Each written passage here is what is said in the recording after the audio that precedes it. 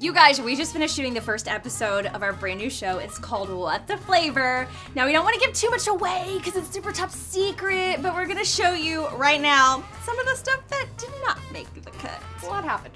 Yeah. Trendy internet food, food, food, food, food. and if you've always wondered, how did. That is a per. Time to plug it in. This is an easy fryer because there's no controls on it. You just plug it in and it only has one temperature. So, And it has a magnetic plug that doesn't always stay plugged in, but you know, safety. flaming hot Cheeto. That was really loud, huh? Because you're here, Lily, we had to do something we've never done before on this show. Which is everything. I used to eat mayonnaise sandwiches when I was a kid. Oh, my. I know. This would have been so much more elevated.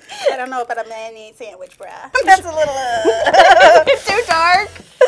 All right, this is where college education comes in. Why? 90 Math? seconds. Oh no, don't. I'm sorry. 90 seconds times four slices. You're hurting my head. We're gonna get there. I swear to God. just touch your butts. Okay, it's the least of my problems right now. Okay.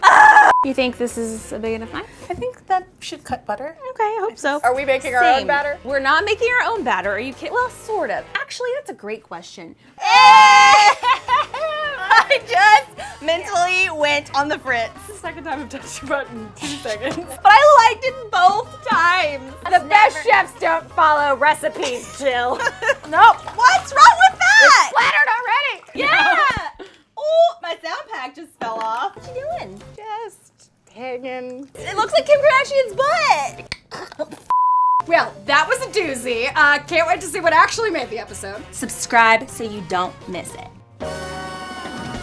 What the Flavor starts this Friday on Clevver Style. If you want to see me and Lils get into more trouble in the kitchen, you better click left to watch the time we made Szechuan sauce, or click right to see us prepare MRE foods.